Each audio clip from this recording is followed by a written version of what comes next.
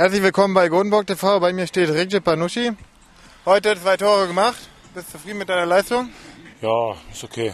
So, kam in der zweiten Halbzeit rein und äh, natürlich haben wir auch schwere Beine halt von gestern, von dem Felbert-Spiel, aber sonst bin ich eigentlich zufrieden. Zwei Tore gemacht, jetzt zweite Halbzeit 5-0 gewonnen. Ja, und so kann es ruhig weitergehen. Apropos Beine, unter der Woche beim VfB hat äh, bist du angeschlagen mit dem Fuß. Äh, wie sieht's aus? Ja, jetzt geht's wieder. Es hat noch ein bisschen blau beim Fuß und äh, bei jedem Schuss zinkt das noch ein bisschen, aber also so spielen kann ich doch. Das ist das Wichtigste. Sonst geht's eigentlich, ja. Jetzt sind zwei Wochen der Vorbereitung rum. War, war schon hart jetzt, oder? Also man merkt jetzt langsam, die Beine werden müde und das Training war super bis jetzt.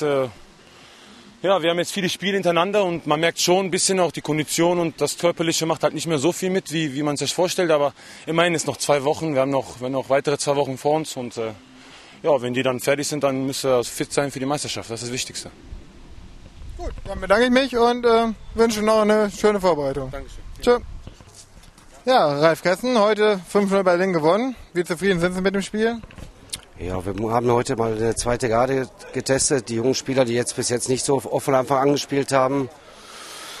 Natürlich war es am Anfang schwer, weil der Gegner gut dagegen gehalten hat, aber wir wussten auch, dass sie müde werden und dass wir dann unsere Tore machen, ja. Und dann ist er auch hinterher standesgemäß ausgegangen, das Spiel. Gestern das Spiel, wie hat Ihnen das gefallen in Felbert? 1-0 unglücklich verloren. Puh, gut, unglücklich. Im, im Fußball gibt es eben so Spiele, wo man äh, mal nicht aufpasst und dann äh, bestraft wird, ja. Was uns geärgert hat gestern war, dass wir unsere Torchancen, die wir uns gut rausgespielt haben, nicht verwertet haben. Im Defensivbereich haben wir fast gar nicht zugelassen gestern, ja.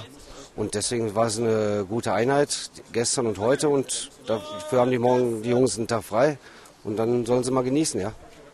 Wie lief die Vorbereitung bis jetzt aus deiner Sicht? Mit den vier Freundschaftsspielen, die wir bis jetzt hatten, mit dem Training? Also die Jungs sind alle mit Begeisterung beim Training dabei. Wenn wir Vorgaben geben, die werden zu 100 Prozent erfüllt.